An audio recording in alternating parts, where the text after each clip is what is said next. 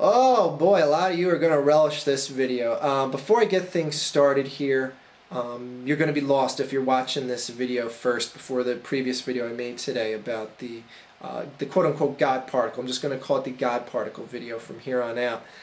Um, watch that video, and I'm going to leave that video up even though I feel I was genuinely wrong, and I want to offer an apology to the scientific community for what I feel is an unfair label that I gave them because I am actually better than the conclusion I drew, and I know better, and I just I feel like such an ass for being, in essence, duped by the media so easily. Um, let me let me just go back uh, to the article that I covered in my God particle video from earlier today. Um, there was a specific excerpt excerpt from it that really got me pissed off at science and the scientific community. And um, let me just find that part. Um, okay, it was a sub, and this is a, a, quote that I actually pulled out in the video itself. Um, a subatomic particle so important to the understanding of space, time, and matter that the physicist Leon Lederman nicknamed it, quote, the God particle. Now, when I read that initially, and I saw that report, and I read a number of articles that were quoting this uh, physicist Leon Lederman, um, he did in fact name or nickname, give it the moniker of the God particle, this subatomic particle that's basically being seen as the one thing that's going to show how this whole universe was created and how mass got its substance and all that other good shit. And I was like, wow, this is just so immature of science. This is so arrogant. It's just the epitome of just saying, you know, we're better than religion, and guess what? We're going to stick it in your face, religion. And I drew all sorts of conclusions from that. And I'm better than this because it was my lack of research and understanding for the totality of things that was my, in essence, downfall here. And um, even though I was wrong, I'll leave that previous video up. Now, a number of you have contacted me, um, one of which, and first of which, was a YouTube user by the name of Lump Couch. Lump Couch. Okay? That's a pretty cool name.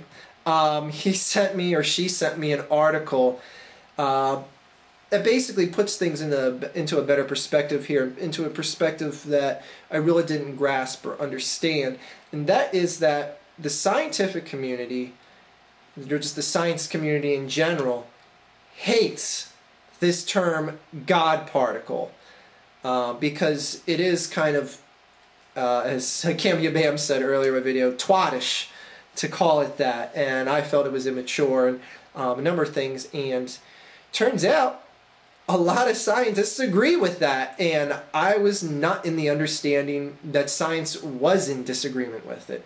Anyway, I just want to read you an excerpt from this, and I'll leave a link for this in the video description if you want to follow at home or um, read more about this. Anyways, uh, report by Robert Evans in Geneva. Quote, we don't call it the God particle. It's just the media that do that. A senior U.S. Pol a senior union, excuse me, Jesus, Christmas trees. A senior U.S. scientist politely told an interviewer on a major European radio station on Tuesday, quote, well, I am from the media and I'm going to continue calling it that, said the journalist, and continued to do so. The exchange as physicists Jesus, I'm tongue twisted today. I guess that's what happens when I'm wrong. As physicists at CERN Research Center near Geneva were preparing to announce the latest news from their long and frustrating search for the Higgs boson, illustrated sharply how science and popular media are not always a good mix. Quote, I hate that God particle term, said Pauline Gagnon, Gagnon uh, Canadian member of CERN's, I guess she's French Canadian, so I'll just say Gagnon. Uh, a Canadian member of CERN's Atlas team of so-called, quote, Higgs hunters.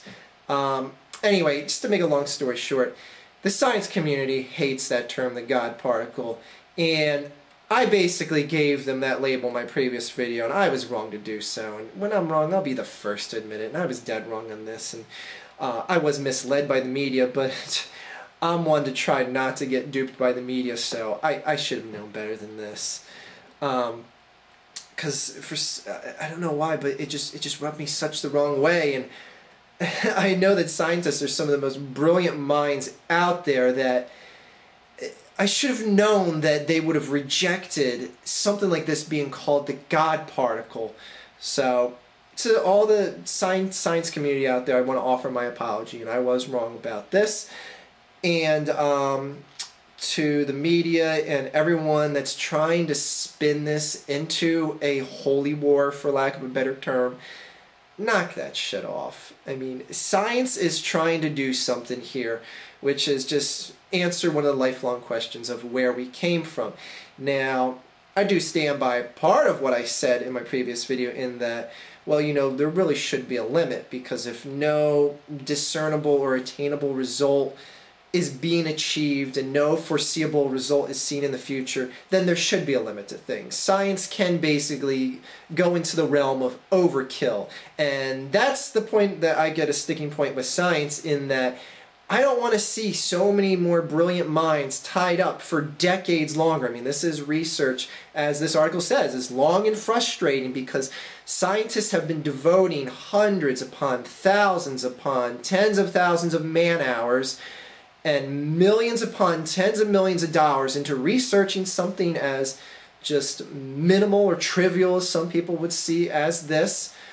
And eventually it's going to hit a point where I'm going to say, all right, let's take all these scientific minds and put them to better use elsewhere. So I do partly stand by what I said in my previous video, but in the grand scheme of things, I was wrong to label science as being as ignorant, as juvenile as I painted it out to be. So I just wanted to make a video here, setting the record straight. Sorry for making a double video here today, but when I realize I'm wrong, I'll tell you guys about it. So I was dead wrong here, and I'm admitting it.